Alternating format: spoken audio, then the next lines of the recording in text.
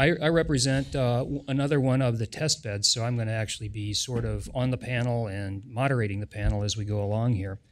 And one of the things that we've learned in the operation of, of our particular activities is that we needed to have a much clearer, much more precisely defined concept for an architecture for how these kinds of connected intelligent transportation systems could work with each other. And so we've spent quite a bit of time over the last two years putting together this reference architecture. That's one of the things that we have been making available then to all of our stakeholder communities so that they can use that as a reference for how to organize their particular activities. And one of the main features of this reference architecture is the understanding that you need to have a complete portfolio of communication uh, media and abilities available in order to accomplish all of the things that we would like to do. There is no one particular medium that does everything, and particularly if you look at this from the perspective of the traveler or the moving elements of a system like this, Having access to a complete portfolio of these communication media allows you to accomplish a lot of the things you'd like to do in a much more reliable, robust, uh, available kind of a context. So we're very anxious to find out uh, how well these kinds of melding of communication media work. In the concept we've been working with, we have media available that have everything from a continent-wide reach to a very close reach in geographic scope. So we envision people using everything from satellite-based communications to things like Wi-Fi and Bluetooth as all part of their implementations. We're very much looking forward to the next generation of uh, these mobile networks because we see the possibility of much better coordination among all of these radio access technologies in this next generation of mobile networks, much more so than the kind of ad hoc hodgepodge approach that you have to take with today's uh, media if you try to bridge these things together. So we're very much looking forward to that next generation and the opportunity to include all of the types of communication media that we think are necessary to accomplish intelligent transportation systems. So, with that, I'd like to begin introducing the members of the panel and giving them an opportunity to give their perspective on the role that communication plays in the work, maybe point out a few things that they've learned and the evolution in their thinking. So, I'm just going to start with Ray, who is uh, closest to me. We are in uh, partnership with the Virginia Department of Transportation in operating what we call the Virginia Connected Corridor. For those of you who live in the area, Northern Virginia, or are just visiting, um, I'm sure you very quickly realize you are in one of the most congested areas in the United States. Depending on what measure you look at, we're usually number one or number two. Um, VDOT is um, obviously takes this issue very seriously.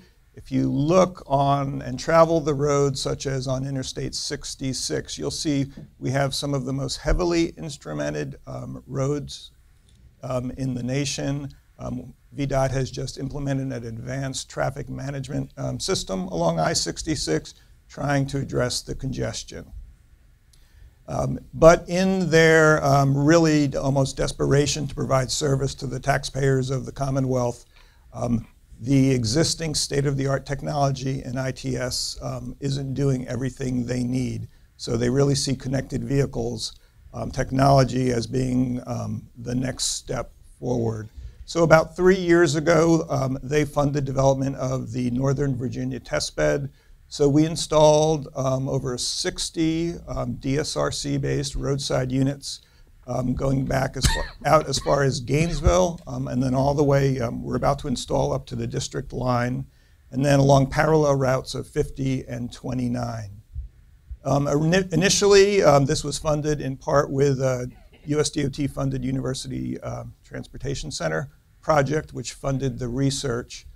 But um, VDOT, as the primary funder of the facility, has to provide value to, um, to the taxpayers. So we don't see it as just a test bed, but we have to be able to demonstrate the value to the consumer. So we are transitioning it to what we call the Virginia Connected Corridor. And in that transition, we are developing applications that will utilize both DSRC but also cellular so we can greatly expand not only the footprint of the corridor, um, but also those that are able to use um, the information um, that's coming out of it. So right now, um, VDOT has an application that runs off their 511, uh, a uh, cellular version of their 511 system, and we're expanding that to pull in the information that's coming off our DSRC vehicles as well as cellular probes to provide applications um, to um, to the citizens, and that's really the evolution that's changed from being solely a DSRC-based system to encompassing uh, cellular as well. So we can uh, really provide a bigger bang for the buck in the short term until DSRC is well deployed. Okay. Next is David. It, I think y'all are going to hear um, a lot of similarity uh, from those of us here at the panel, and, and I think uh, it's important to, to know as a caveat that what we're going to talk about really isn't inconsistent or competitive. It's, it's actually leverageable. So a lot of the work that all of us are doing, led by you know DOT in this re- regard, these are become ultimately localized opportunities uh, that may have applicability across the country. But um, if you picture yourself within the context of a of a road owner in a certain jurisdiction, what does all this mean for me and how do I implement it and so forth. So let me just talk a little bit about uh, TTI, which is the Texas A&M Transportation Institute, and specifically the Accelerate Texas program we have. And, uh, and a lot of the questions that I've, I've changed what I wanted to talk about, uh, so I'll try to address, not answer them, but try to address some of the context that we're looking at in Texas here based on the questions earlier today. First of all, TTI is a, a a very large research organization uh, affiliated with the university. It's probably one of the largest ones uh, in the country. And that covers everything, not just from automobiles and highways, but sea, air, uh, rail, uh, all kinds of modes, all kinds of traffic, all kinds of transit and freight. Um, Accelerate Texas uh, itself is a program focused not so much on uh, research inside of this research organization, but more in terms of commercialization and what can happen today. And the Accelerate Texas program is really a partnership between Texas DOT and the A&M system. And part of the idea there is, okay, what, while all this is going on, how do we create the right kind of economic environment to have early stage deployments, leverage other things that are going on across the country, and start providing the safety and mobility benefits that we need today? And so we did a few things in that respect. Um, so first of all, if you think about, uh, you know, 50 years from now, uh, assume, you know, I'll predict everything will be automated. It'll be totally autonomous driving. Hold me accountable to that 50 years from now. Um, but the question then is, what do we do in the meantime, and how does all this work? Well, in Texas, like in virtually every other state, you have very fragmented ownership of roadways. You have a Texas DOT that probably controls 25% of the road miles, but accounts for 70, more than 75% of the actual traffic. And then you have counties, then you have cities, and you have other localities that might be involved. You also have privately owned infrastructure under concession arrangements. So you have a very fragmented uh, set of ownership. The TIA, um, I remember from the annual meeting this year, the TIA talks about uh, 4 billion connected devices growing to 50 billion connected devices. So just think about the environment where you have that much data and connectivity flowing, and you have various um, public sector actors who are involved in the IT side who look at uh, the operational side of the IT part of their service uh, as, as a very scarce budget item, and they're very challenged to try to address that, and, and how is that going to happen? you look at legislation, and I'll talk about Texas there. Um, there's there's a uh, you know the fact is there just is no enabling legislation in, in Texas. Now, other people may say there's no disabling legislation in Texas. There just isn't any, and that's because of a long-standing tradition of why pass a law before there's a need to pass the law, and that as a result has attracted companies like Google to, to come and start uh, field testing their vehicle in Austin uh, is their first foray outside of uh, California for major testing areas. So that's the kind of environment. And, you know, so when you take a look at all these things, um, that's the, the context of what we're operating in, within today. And what we had done is we had take, taken a look at uh, what's going on, and, and, we relied on a McKinsey study to do this. We took a look at the ITS industry, and McKinsey picked on, in addition to that, picked three specific areas inside of an automobile. You know, the technology in the car, the connectivity to the cloud, and then the cloud services and, and other data uh, handling. So those are those kind of encompass a variety of things. And so we took a look at that and said, okay, well these are the areas that have to be part and parcel to any kind of implementation, and obviously connections, uh, connectivity is part of that.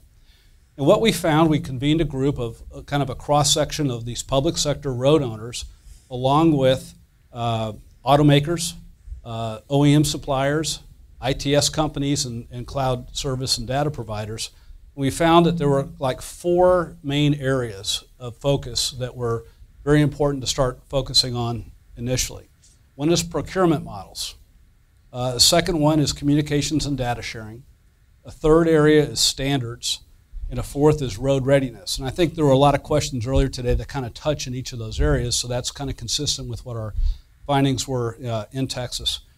And what we've done as a result is we've issued the first in a series of what we'll call RFIs to start uh, deploying and generating um, trials of vehicles that are ready today to help improve safety and mobility in the state of Texas uh, just because it has such a big consequence. And the consequence there is you have a $1.2 trillion economy in what's known as the Texas Triangle between Dallas, Houston, Austin, and that area. Very dense urban congestion, very remote rural parts of the highways and roads and, and so forth, and multi jurisdictional ownership throughout this whole area. Um, and how do you make all this work? So that's kind of our constituent stakeholders that we want that are eager to try to find solutions today uh, along that roadmap of the ultimate conversion 50 years from now when we're all autonomous. And so I'll, I'll leave it with that for now. Okay, and lastly, we have Peter Sweatman from uh, University of Michigan. Thank you, Walt. Scott, thanks for the invitation today. Appreciate it. Um, so, uh, University of Michigan, we were fortunate enough to be entrusted with the US DOT's safety pilot model deployment for V2V and a bit of V2I um, a few years ago now, back in 2012. And so we've been running uh, up to 3,000 connected vehicles in the city of Ann Arbor. It's a city of about 140,000 people um, for three years now, or a little over three years. So collected a lot of data, and a lot of that data was used to back up the uh, the rulemaking moves being made by NHTSA, which hopefully will will come to fruition. Um, and then something very interesting happened. Uh, I mean, this is something that really from the uh, point of view of a great university like the University of Michigan, um, where it's publish, publish, and here we were doing this sort of uh, the work of looked a bit like a car dealership. We were fitting up 40 vehicles a day, volunteers' vehicles with the technology. We weren't writing any any reports, let alone any any scholarly papers or anything like that.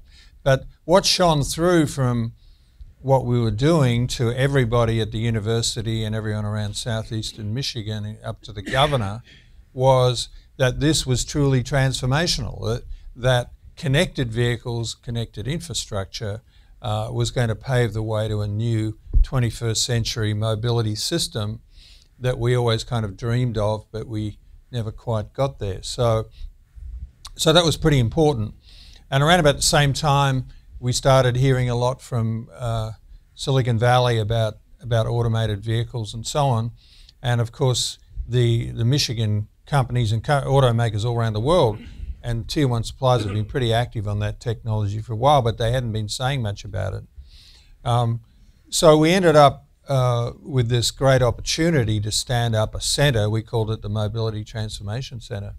Um, we, and the whole idea there was to take uh, to converge connected and automated technologies and uh, work to get the most accelerated deployment and the widest deployment we could possibly get. And in order to do that, we kind of changed the university research model around, put it back to front, where we do these big deployments like the 3,000 vehicles in Ann Arbor, and then we build our research on top of that.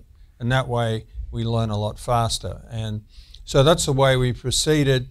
Um, along the way, we built uh, M City, which I think you've probably all heard about, uh, the fake city for testing uh, automated and connected vehicles, which we launched in July. We had about a thousand people at the launch. Um, I'm pleased to say that M City is uh, now fully operational. It's fully booked. It's completely booked. Um, we do two organised tours every day. We had to buy a bus so that we could take bigger groups of people out to see M City. So um, I think it, it's it's turned out pretty well. And I think apart from uh, you know we're kind of chuffed with the way it all went, but uh, I think it's indicative really of this incredible transformation that we're seeing. We heard references to that I think all day today. So we are in a new paradigm for mobility and tra- uh, transportation. Uh, so, you know, we're, we're thrilled to be part of that. Uh, we're building our connected deployment in the city of Ann Arbor up to 9,000 vehicles from 3,000. Um, we are uh, working cl- closely with the city of Ann Arbor on applications, safety applications of interest to them. And most of those relate to pedestrian safety. Pedestrian safety in a in a city with so many students, 50,000 students, uh, is a key issue for the city. And so, you know, we're very interested in all players being connected uh, in, in the city of Ann Arbor. Um, and, and then we're, we're building out to a larger deployment uh, across southeastern Michigan, and our target there is 20 20,000 connected vehicles. Um, so I kind of think of it as a kind of a Russian doll thing. We've got M City, which is 32 acres, 13 signalized intersections, and we're really focusing on automated and connected and bringing those two technologies together. Then we can we spill out onto the streets of Ann Arbor in a fully connected environment, and then we can go out onto the streets of uh, southeastern Michigan, including the freeways and so on, um, the ramps and all, all the aspects, uh, also in a, in a fully connected environment. So um, we're very uh, excited about that. We've had a lot of support from the state. Um, we have 54 companies uh, signed up to MTC, all putting making a financial contribution. 16 of them are putting a million dollars in. 38 of them are putting in uh, 150,000. So it's a substantial research program that's being enabled through that. Uh, we've already got about $4 million worth of research program, projects underway. Uh, a lot of those, there was some discussion this morning about the human factors issues here with uh, the driver having to re engage and, and, that type of thing. Um, so, a number of our projects are currently related to that. Uh, we have uh, the UMTRI driving simulator has been repurposed to, as an automated driving experience. So we can create M City in the simulator and, and all of that. So, um, so this discretionary, I mean, I think for anyone in a university, uh, in a university institute, having discretionary funding is is the holy grail. And so our um, industry participation at, that, at the level we have it is really helping us to do that, do the research that needs to be done. So we work with our partners to figure out what the main barriers to deployment are, and then we work on, we base the research around that. So, Walt, um, I might leave it at that, but we have got a fair bit going on in uh, southeastern Michigan. Okay, I appreciate those brief introductions, and um, I'll have a couple of questions, and then we'll take questions from the audience. And Scott, I really appreciate this kind of blending of transportation and telecommunications people in the room here. So the first question that I'm going to ask of these transportation people is telecommunications oriented. Um, we're all very interested in this topic of connected vehicles and the requirements that it's going to place upon the telecommunications industry in order to support it.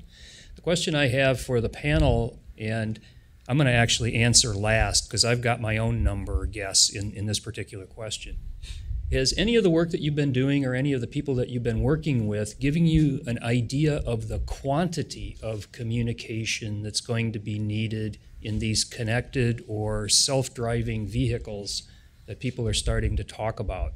Are you seeing any, any early indicators of what kind of a burden this is going to place on the telecommunications side of the equation?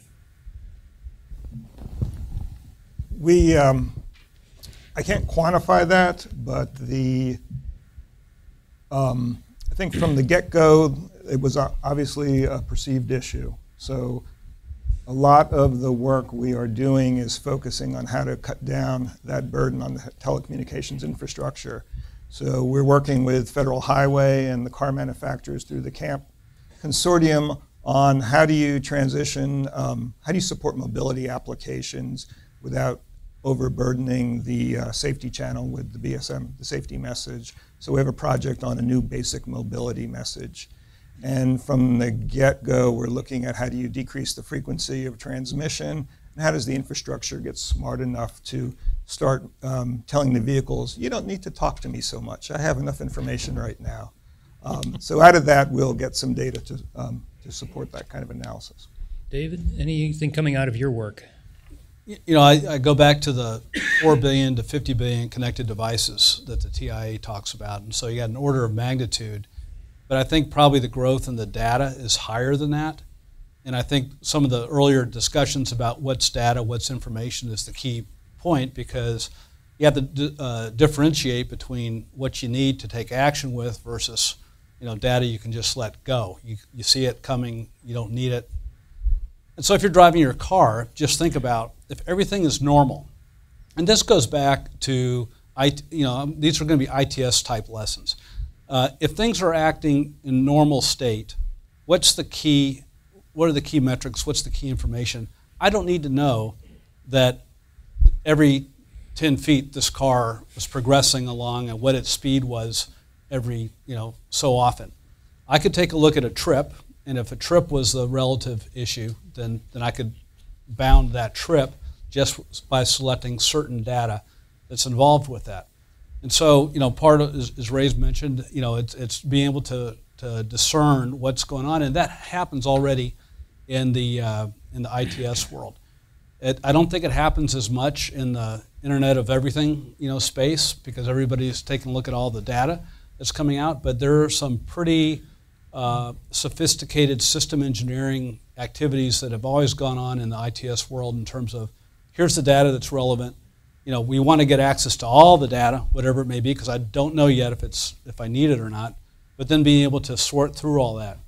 The challenge is going to be okay, once you figure all that out, what's the business model and how do you monetize, uh, you know, to justify the investment in the infrastructure necessary to handle all that all that data? That that's the that's the big question that we all have because if people are thinking that um, a state transportation or a local transportation agency is responsible for that data, well, maybe it is around the, how the road network operates.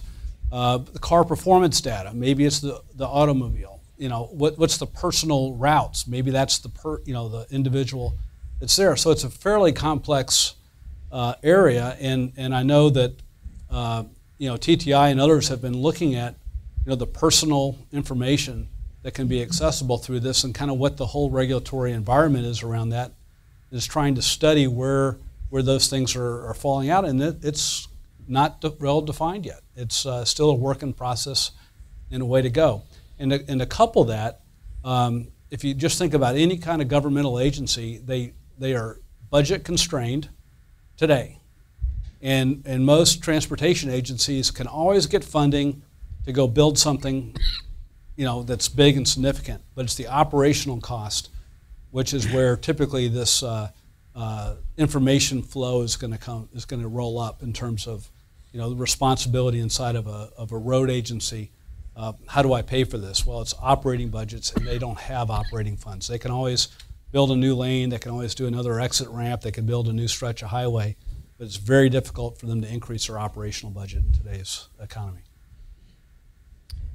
Any anything coming out of the tea leaves in, in your cup, there, Peter? Yeah, thanks. Well, so well, I guess you know what we've learned is it's al- there's always more data than you think, And uh, we, for example, with the DSRC radios, it turned out the range was uh, three or four times what we thought it was going to be. So you've got three or four times, at least three or four times as many vehicles in your catchment as you think.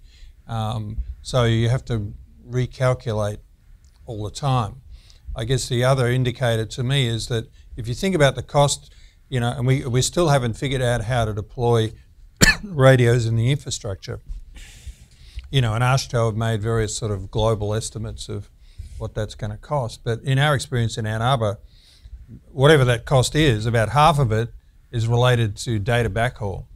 And we, and we were fortunate that in the city of Ann Arbor, we were able to use the city of Ann Arbor's fiber optic network, so we didn't have the full cost of, of what that might, might otherwise be. So in, in a city the size of Ann Arbor, the infrastructure cost to us um, to, to be ready for, say, 10,000 vehicles is about a million dollars.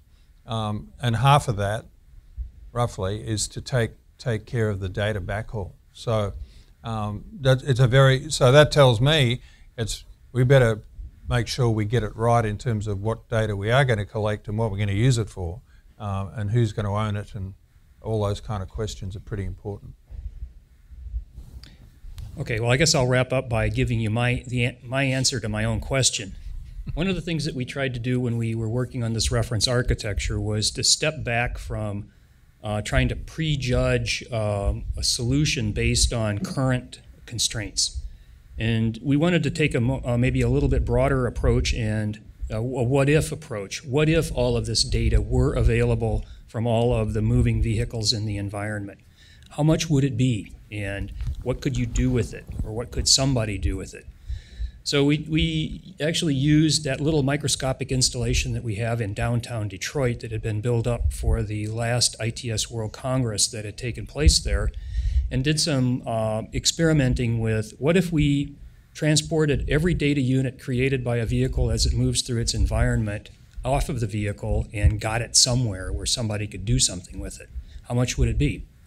We did a little rough back of the envelope kind of a calculation based on a time of day, day of week, uh, area of the country kind of a thing, and came up with a typical vehicle, kind of a uh, 50th to 75 percentile vehicle, would create about four to six gigabytes of data per month of operating. And okay, that's somebody maybe thinks that's a lot. People who are in the telecommunications industry who are used to supplying uh, pipes for streaming video, that you wouldn't even notice that. Um, so anyway, it's somewhere in the middle there. Then what could you do with that? And actually, the thing that kind of inspired me to think this way was actually Ken. One of the first things he came out of his mouth when I first met him when he came into the office was that when, when we have this, when and if we have this NHTSA mandate, those vehicles out there are going to be hyper aware of their location, X, Y, and Z, vertical. What if you were to take all of those data units that are created and look at the Z dimension as those vehicles go across a bridge? Could you tell something about the state of health of that bridge by the pattern of the vehicles as they go across? We all know that those structures oscillate when vehicles go across. Could you look at that pattern, develop a signature for a healthy bridge, and then maybe predict when that bridge is about to reach a catastrophic failure point? We have like, Carl probably knows the number, we have like 30,000 bridges that in the United States alone that have been deemed uh, letter grade F. Uh, probably wouldn't want to drive over them if you knew that uh, they were really that bad. Could we use this as a way of monitoring the state of health of all of those bridges? So that's part of the uh, what we kind of tried to build into this architecture concept, uh, what we're working with, and what we're hoping that people experiment with in this next round is if you take away some of the preconceived constraints that people have, what could you do with it? What kind of magic could happen in that kind of a situation? And then that may end up answering the how do you pay for it question. So, anyway, four to six gigabytes per vehicle per month. Um, you can do the math at what kind of burden that would place on the telecommunications industry. Probably isn't a significant burden. So, anyway, um, that's kind of thinking we would like to see, you know, bring to the bring from the telecommunications industry to us is how would you accommodate that? And you know, if you had it, what could you do with it? So, anyway, next question uh, kind of gets at the how do we pay for it question. And you know, as you guys have been operating your installations and have been interacting with potential you know, users and dealing with your stakeholder communities locally, are there some kind of early indications of what the killer app is going to be for the connected and intelligent uh, vehicle out there? Is there something that is starting to come to the forefront, the thing that everybody would like to have if it were available? We, uh, back when this was called the VII program, um, back in 95-ish time, Yeah, Um, before I had all of this gray hair. that was uh, probably on day two, we were all asking, well, what's the killer app? And uh, all these years later, uh, I haven't found it yet.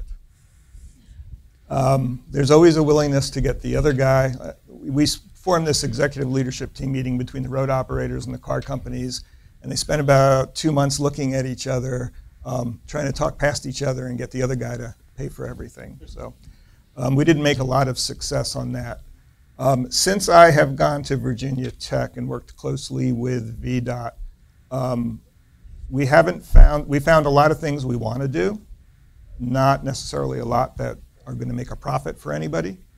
Um, but an interesting issue that has come up is you would expect a road operator to be very, to hold the data really close to the vest and not want to relinquish um, control over it. But they, but seeing all these costs and not wanting to get tied up in the long-term operational costs, they have gotten very willing to give away big parts of the system um, and bring in the private, um, you know, private providers to operate the backhaul um, and let them try and figure out how to pull value out of it. So um, I don't have an answer for an application, but very more of a, a process of VDOT is looking at bringing more people to the table to share that burden. I think the uh, the killer app from uh, our perspective at TTI is kind of twofold. You have the population in the state expected to double from to about 50 million people by 2050. It's always and it's been shown that well-designed ITS infrastructure can help reduce the cost of expensive capital projects. So the killer app is how do you get further mobility, from our point of view, uh, further mobility out of an existing infrastructure, which is not really that different from other, you know, ITS history. And um, because it's a longer term issue, and maybe that killer app is the being able to reduce the headway.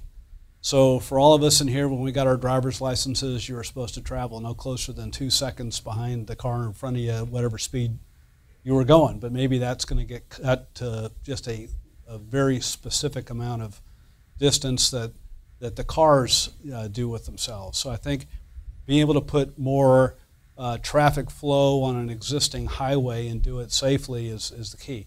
But the most important uh, killer app really is the safety part of the app. Um, I think if uh, you know we've been trying to wrestle with this, but you know, and there were some conversations earlier today about some very high percentages of accidents and fatalities are really caused by the driver.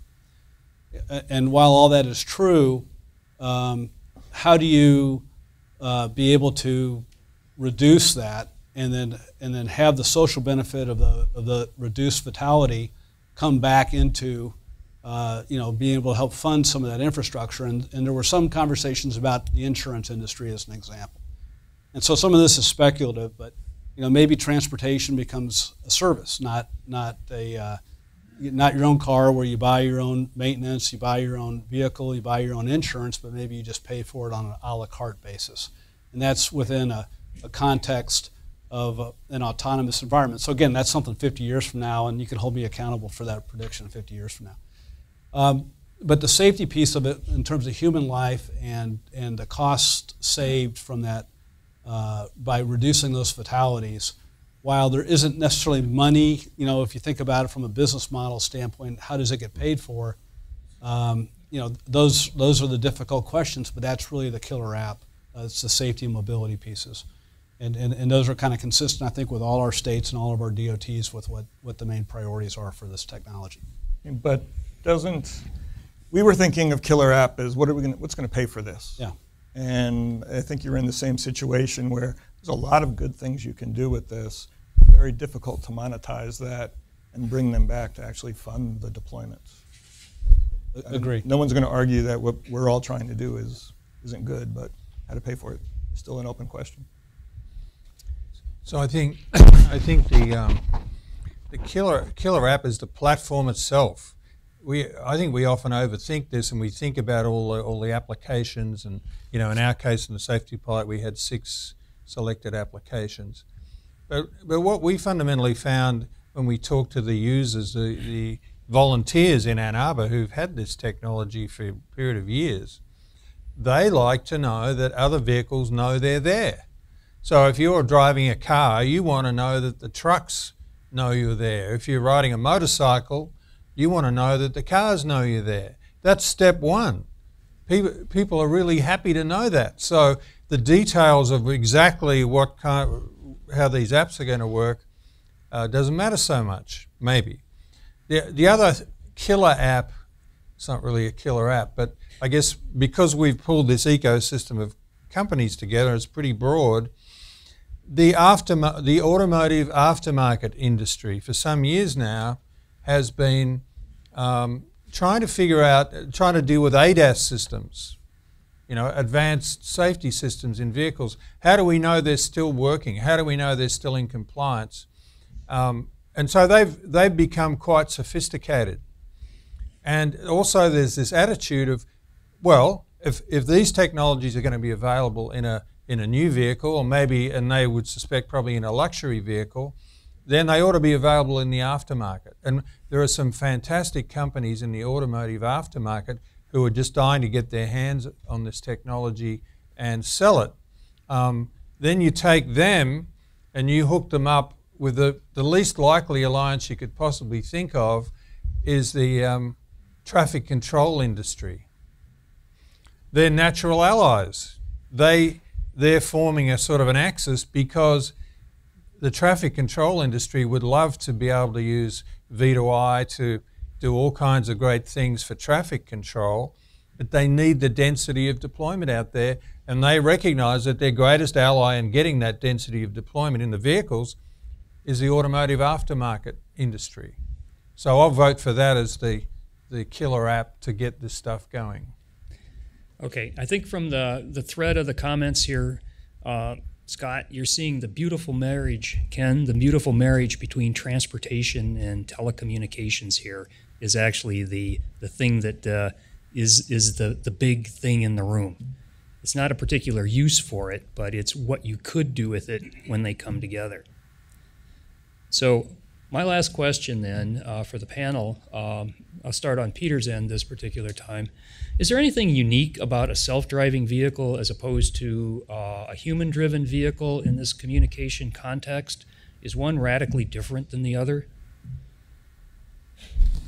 Well, I, I think uh, so. Basically, I think in that in the automated context, um, you know, DSRC communication is really uh, another sensor, and it's a it's a very affordable and very powerful sensor. It's an unusual sensor, but it's really another sensor. But but I do want to comment on, you know, and I I think I started off by saying we set up MTC to um, for the convergence of connected and automated technology. But that convergence is not happening. Um, so the only example I can think of where you must have connected and automated is platooning. So platooning, we've got short headways, so we must have that the connected aspect as well. Um, but we've got a long way to go to converge these two technologies. If I look at the 54 companies we have engaged at MTC, a little more than half of them are interested in uh, connected vehicles. A little le- less than half are interested in automated vehicles, and less again are interested in both. So the whole uh, industrial side of this has got a long way to go, and it's you know we need to. I think part of the value of our centres that uh, you've got three represented here, is how we're going to move that forward. So this is just, right now, it's just an idea. And I think we all feel, most of us feel, that connectivity is going to be very important to automation. And it's going to support automation. It's going to, if you've got a connected zone, connected city like Ann Arbor, uh, then that's going to be a, a, logical place to test automated technologies. But um, it's very early days yet. So it rolls off the tongue to say connected and automated, but uh, they're essentially two separate technologies uh, as we sit here today. Interesting observation. David? And, and to, to, answer your, your question about the human, I'll come back to the, that in a second. The way we're, we're looking at that, uh, the connected and automated piece uh, at A&M is, is primarily, um, this can sound very simplistic, uh, but you can have a connected car that's not automated, and, but you can't really have an automated car that doesn't have connectivity, whether it's an actual communications or you're connected to your surroundings by sensing uh, your environment. Uh, so, you, you know, it, it, I agree with everything Peter said. I think in terms of, uh, you know, the difference between an automated vehicle and a human vehicle. Um, on the one hand, the automated vehicle, and, and, and, this is the concept design, if you will, you know, you have 360 degree awareness uh, in an automated vehicle. You know what's coming around you at all times, even if you're not looking that, in that direction. So just picture yourself driving your own car. You know, if you're doing a good job, you're, you're looking in your mirrors, you're, you're being aware of what's going on around you. Uh, but the benefit of the automated vehicle is it, it can help you see things through its technology and its sensors that you cannot see as a human. Uh, there might be uh, snow on the road. There could be it could be dark and no lighting. Could be very poor retroreflectivity on the roadside. Um, so there's a whole host of other things that uh, truly fully automated vehicle should be able to help deliver more than what you can as a human. On the other hand, uh, you know, the human has a lot of judgment. You know, if you're aware and alert, you know, you can take action as you need to. And while that's being developed, you know, you're you're relying on machine language and code and, and other things. And uh, you know, how do you model up the human brain on knowing what to do when, when to do it? So those are those are some of the challenges there. Any differences that you're seeing in the work that's done in your facility, right? Um, you know, I, I, kind of agree with everything Peter said, except for his basic premise. um, I really feel strongly that an automated vehicle is a connected vehicle. And where we differ is on the technology. I think what Pete, Peter meant is you don't need DSRC. But there's not an automated vehicle out there, I'm talking about level four or five, um, that doesn't have at least cellular communications. Um, they need mapping updates. They need info, even the Google car needs to get updates um, into it and needs, um, needs to know where it's allowed to operate. And that's the difference between the human-driven car and an automated vehicle. An automated vehicle will require some type of communications outside. Obviously, we can all drive our cars without our cell phone or uh, any other communications. Um, so I, uh, you know, I, I agree with Peter. It's yet to be figured out. How do we make sure that the connected vehicle, the automated vehicles of the future are leveraging all the benefits of DSRC as well as whatever, what, what any other uh, communication link that we have in there. Yeah, I mean, I think I was taking a pretty strict definition of connected. But uh, Walt, maybe I could just make one other comment, and it came up earlier. Um, so one of the real sleeper issues, I think, is that um, humans cheat and machines are programmed do what they're programmed to do, and they're generally programmed to be conservative. So all mach- automotive machines we we know about at the moment tend to be, you know, they tend to be go, go a little slower or a little further away from another vehicle, uh, allow you know the margin for error kind of idea. Uh, so the lawyers uh, tend to tend to win out. So we have this so when we get to this mix, this hybrid situation we're going to go through for at least a decade, where we've got uh, vehicles of various levels of automation and human controlled vehicles all operate, you know, going to be on separate lanes, they're all going to be mixing it in together, then so that the human is cheating, either going faster, shorter headway, whatever it is, and and the machine is programmed to be conservative, and there's a huge gap. And so it's going to require us to get real about what there's got to be one, one rule. And otherwise, it's, not, it's definitely not going to work. So, what is that one rule? And it can't be unduly conservative because we had the interesting conversation with the senator um, where the whole tenor of that conversation was, well, we all, all tend to go a little faster than we should. And it's true. Um, but of course, the machines don't, don't operate that way. And that is a recipe for disaster. I just have one thing to throw out there. There was a funny incident that happened with the Google car in Austin. So, any people are bikers in here, you know what kickstanding is? So, you know, it's when you're pedaling up and you need to slow down and almost stop because of something else is coming. And so you kind of hit the brakes and then you pedal just a tad and hit the brake and you're balancing. So it was coming into an intersection between the Google car and this guy kickstanding along the way, and, and neither of them would go because you couldn't tell what was happening. And so the, it was a very interesting learning experience for the Google car in Austin on, on that. Okay, that was the last of the questions I had. Are there any telecommunications oriented questions people in the audience would like to ask this particular transportation oriented panel? Can, um, can you each talk about what you're doing with respect to security and, and, the, and how you're um, managing that and testing out security protocols? I, I can answer that really fast. We're waiting for Walt to provide us with the new security system. Yeah, as is everybody else in the world right now. I, I will say um, I'm, in, I'm part of a group called InfraGard, and I don't know if other people, I'm sure somebody else in here is uh, with InfraGard. And So it's a public-private partnership between the FBI and the private sector, where you know we're able to see and become party to some classified information about cyber threats. Uh, so you have to go through clearance process and so forth. So I would encourage every, everybody um, who really kind of wants to, to, to get up to speed and be more aware of these kind of situations. It's a, it's a great organization. We're actually trying to figure out um, about different special interest groups uh, around the transportation area. Uh, in specific, I know there's one up in Michigan, and, and uh, there's a lot in the maritime area and obviously the aviation area, but there needs to be more around the cyber community, not just from a design standpoint, but then what do you do after you design the technology?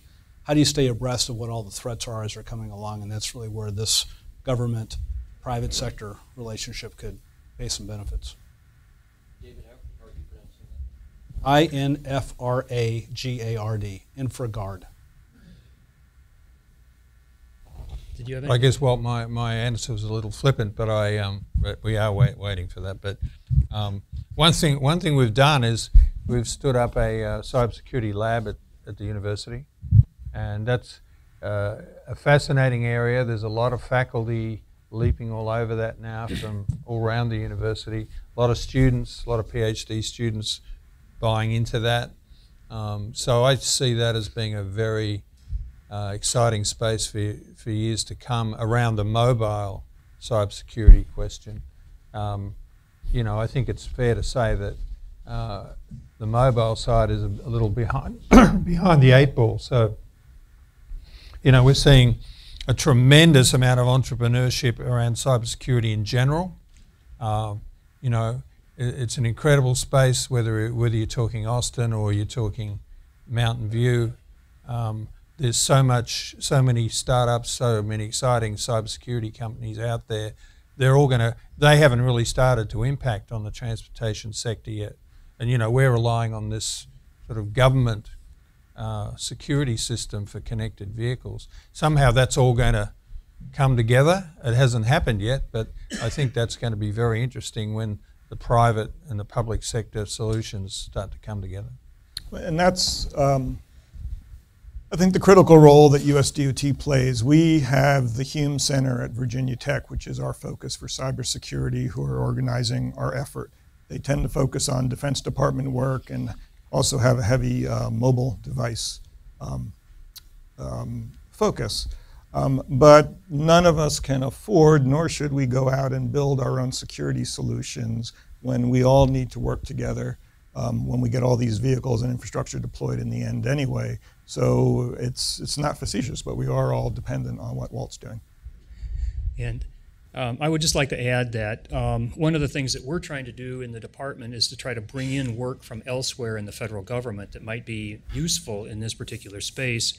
And one of the places that we have access to is NIST and all of their cybersecurity practices. So, one of the things that we're attempting to do to help demystify all of those practices for the common practitioner in the intelligent transportation world is to build a feature into this architecture description tool that we're working with so that as you create your enterprise view and your physical view of your particular installation architecture, it will automatically point you to specific citations within the NIST body of work. So rather than you know getting a reference to the NIST website and having to sort it all out yourself for what's appropriate for a vehicle device of this particular class, or an infrastructure device of that particular class, or an organization of this particular type, uh, we'll try to give you more direct references to specific NIST citations as one of the features of that tool. Again, to help demystify that for the average practitioner.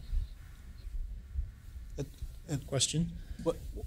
Well, if I could just throw one, th- one thing out. You know, I think uh, because we are part of universities, all of us have very extensive kind of capabilities that, that if you would like to, you know, uh, test something specific in a cyber environment, I think there's lots of uh, opportunities for that, but it needs to kind of come from the private sector or the government to initiate. Okay, so eventually the question will go to David. So you're the only person who used the term cloud computing. So my friend Martin and I were sitting here reflecting that we, we thought we were in a different meeting that we usually sit in on. And that meeting that we sit in on on the ITU has to do with the cloud computing for aviation. Okay? So after the disappearance of the Malaysian aircraft, the ITU was asked to come up with standards to look at the aviation cloud computing. In essence, what it does, it replicates the flight data recorder and the uh, and the voice data recorder into a cloud computing environment. And we deal with the same exact data issues that you talked about, including how often do you sync up, how do you often do you collect the data, the scalability of the cloud, and the fee for service. Okay? And we just pulled the data because the, the meeting concluded last week, right here from Martin's laptop. and we noticed that for flight data recorder, 5.4 meg of data is collected per hour per airplane. This is only on the flight data recorder, not the voice data recorder. And assuming 20,000 aircraft, that would be 43 terabyte per month. Okay? So we're talking about the same. I think FAA is part of DOT the last time I checked. So, uh, so, so since you use the cloud computing, you're the only one who used the term cloud on the panel there. So I'm wondering from the ITS side, how do you, how would you collect this data as to, as to why would you collect it in a cloud environment? Can I uh, just interject here one, one point real quick? Most of us come from the surface transportation world, Federal Highway Administration, and clouds tend to be the purview of the Federal Aviation Administration. so you don't hear us use that much. term very often. well, they, well, that's why they didn't move down to. Uh, they, they they stayed on Independence Avenue. Sorry, that was my bad joke of the day. Uh, David? Okay, so I think that's a great analogy. Okay, so um, you have a physical cloud, you know, in, in Walt's definition, but we'll talk about the virtual cloud. So, you know, ignoring that even through a cloud, the data resides someplace. Okay, forget all that for a moment. But, and I don't know the, what's required in the aviation space, but, you know, just think about this. Um, if I'm flying an air, airplane, you know, let's take that example. Um, after that flight is done and everything went normal, okay, uh, what is done with that data? Where does that data go? And, and whose cloud, if you will, does that sit on? So, you know, I don't know what those rules are, but imagine if that same kind of, you know, you're, you're doing this trip tracking, maybe you're communicating it to a cloud, uh, maybe not. Maybe everything remains inside of the vehicle except for basic safety data. You know, I don't, you know, you don't transmit uh, necessarily from, you know, because of the Malaysian example, uh, data wasn't being transmitted throughout the flight. You know, it, it's in that black box. Um, so, you know, there's a lot of information or decisions about are you going to uh, keep the whole trip data? What are you going to do with it? Where are you going to post it? So, if I'm a fleet operator, I'll, I'll talk to it from a fleet perspective. If I'm a fleet operator, I may have a lot of interest in seeing how my my drivers on, of my truck fleet behaved. So that might be of interest to me. So I might want to download that data. That's important to me. On the other hand, you know, uh, uh, or if I'm interested in how my kid is driving, I might be interested in that. But you know, not for how I'm driving. You know, I don't want anybody else to see that. So I want to make sure that that data gets erased. So you know, who has control and who has the decision making over that? And you know, if there is an accident, you know, there's a lot of conversation about you know, who uh, and how you download that black box in the car, so to speak, to see who's at fault. Were you speeding through that intersection or, or what have you? So did y'all have a, did y'all come up with an answer um, in the aviation world on how to do this? That, that would maybe we could use as a, as a model?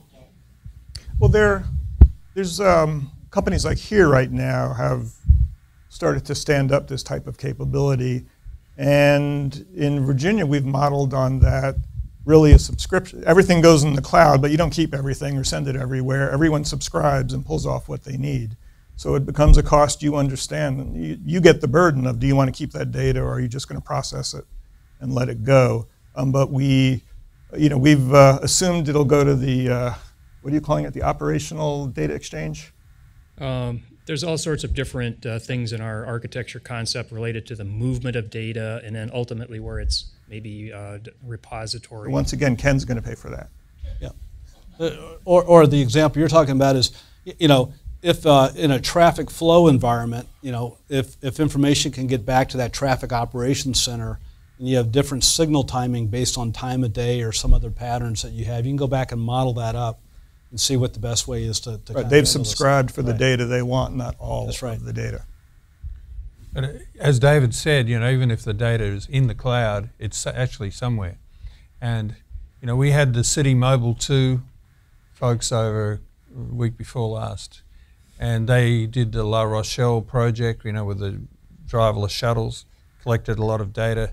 They were worried about the uh, privacy laws in France, so they grabbed the data and took it to Italy, where there are no privacy laws. So, you know, but that's an interesting thought as to, uh, you know, who can get access to the data, and depending on how how that's handled. So I don't know whether the cloud gives you any protection from that point of view or not. Is that why you're leaving for Italy after this event? You mentioned that uh, automated cars are going to are going to uh, rely on DSRC or radio links. Have you looked at how you're going to architect the network to recover in the event that you lose a radio node or two, and how you recover in that kind of disaster? Um, I think I said the opposite. That we're not going to, automated vehicles will not rely on DSRC um, in the beginning. Um, DSRC, as Peter said, is really a sensor to allow you know what's going on around you. I think the required connectivity is up to the cloud, so you can get things like map updates and um, other kind of issues that the um, that the operator will need for the vehicle. So it's it's going to be a while before you have enough DSRC penetration on other vehicles as well as with the infrastructure that you that I would trust an automated vehicle that only relied on that. It, I think that's a really interesting question uh, in for different reasons. So, what you're, I'm taking that as meaning what is the failover mode? Okay, what's the fault uh, environment? And so, when we took a look at this in Texas, you know, part of this is what we call, you know, in, in a category called road readiness. And so, right now, the discussion is okay, something fails on the connectivity, therefore, the human driver is the failback. Um, right now, today, if a traffic signal loses power or communications, it just starts blinking red, and some alert through the network monitoring tells you send a tech out there to deal with it.